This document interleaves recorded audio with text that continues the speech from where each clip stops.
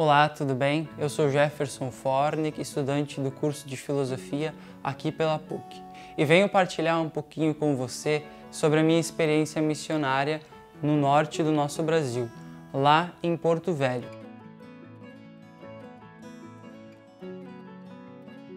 Fomos visitar uma região ribeirinha.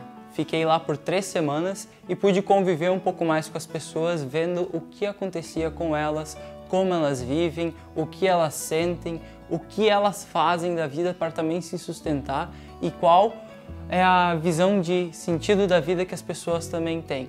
O que mais me fez sentir assim, compaixão, foi ver que a realidade deles é extremamente diferente da nossa.